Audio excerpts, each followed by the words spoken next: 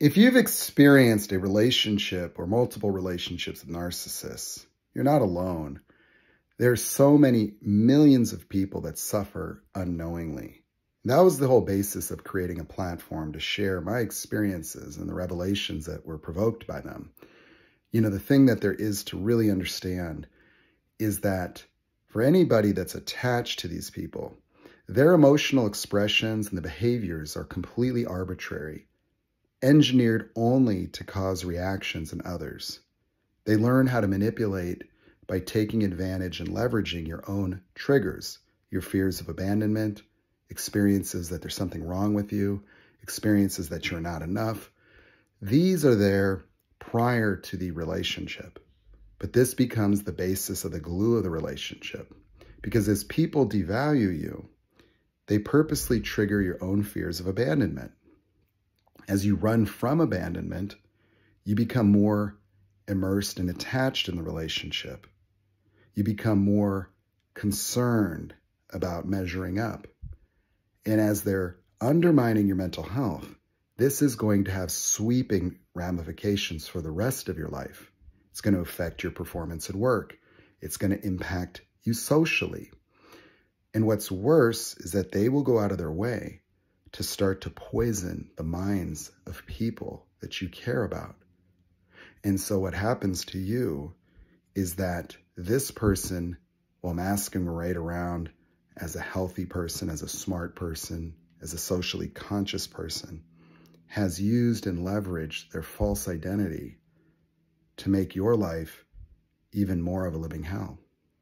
They go out of their way to organize smear campaigns so that when they do discard you, they're going to make sure that you don't even have an audience. And so your mental well-being will be so compromised that it will automatically conjure suspicions about your recollections and the profound confusion and dissociative experiences of having somebody that you thought you knew, that you thought was a good person, behaving this way it dramatically impacts your own ability to navigate. The discard experience for many people is the worst experience of life because most of us would have had a really great life without these people. Like if you took a look at your life before and after a narcissist, sometimes you might feel like you've lost yourself. But you see, the purpose of everything that I've been doing is to show that you never really lost yourself and it's even true that you never have really discovered yourself. That many people that are the victims of narcissists have special gifts, aptitudes, and creativity that they've used to better the lives of others. People that find themselves inspired by the opportunity to make a difference suffer immensely in a world of exploitation, in a world where manipulating and controlling people is considered a sign of leadership.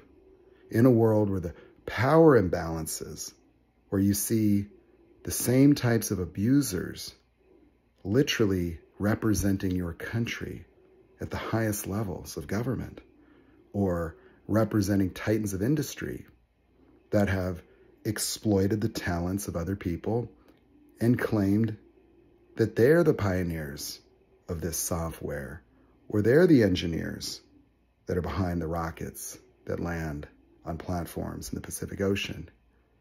And so the egos that are driving humanity to destruction, in a very real sense, represent a macrocosm where if you took a look at your individual experience within a relationship with a narcissist and you took a look at the broader picture of our society, a society that's built on the foundations of ego, on the foundations of validation seeking, it's no mystery why many of us, myself and you included, had to find communities, had to discover authenticity, that the most important lessons were left out of the education system.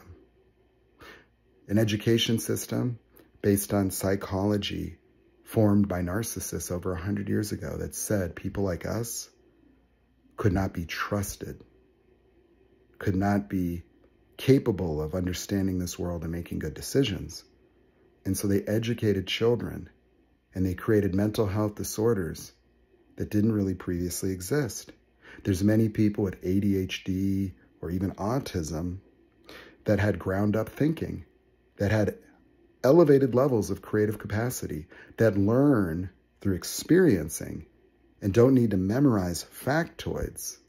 And living in a world of subjective realities, egos, false selves, false identities, people driven for more, more, more, more, more at the cost of everyone else has created a profound power imbalance that's literally at the driving force of everything that's wrong.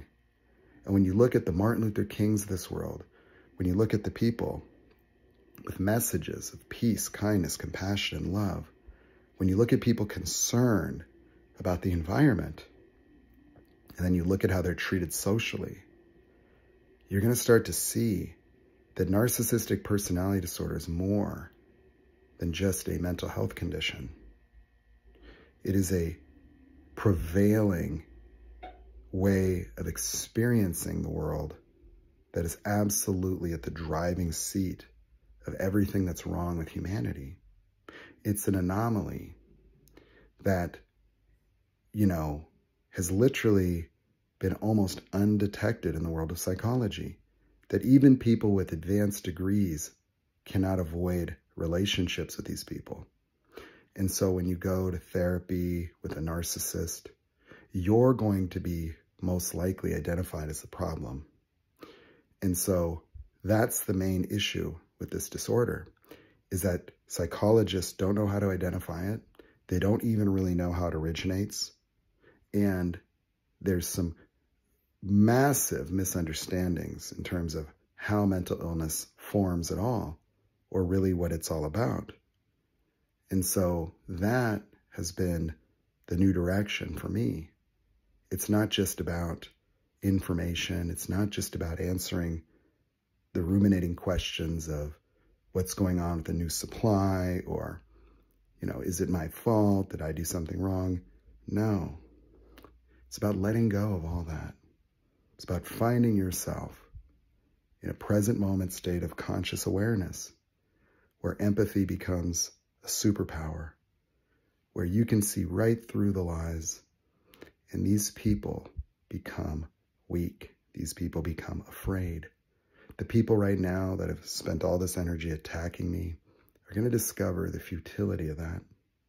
That while I put back the pieces of my life, it only has made me stronger because I've been able to do all the things that I've wanted to do alone against all the odds, against a world where I don't really have friends in my personal life, where the vast majority of all the people I've encountered, from friends, family, business, have all shared similar pathologies. And it's a lot more prevalent than we would ever want to know. If you look at this world and you look at what's happening politically, when you look at the geopolitics, when you look at our total denial of anything related to our environment, when you look at the assault on science, when you look at the assault on objectivity, when you look at it, you're going to see that this evil, this darkness, it's everywhere. And we've got to do something. We've got to wake up. We've got to break ourselves from the chains of our education. We've got to open our minds to something new, we've got to consider that this illusion of suffering that became the basis all the gaslighting, all the exploitation, all the misery that you've experienced is something that we have the answers to, that I've had the answers, and I've been doing my best to provide them in a world that has profound trouble with new information. And that is just the way it works.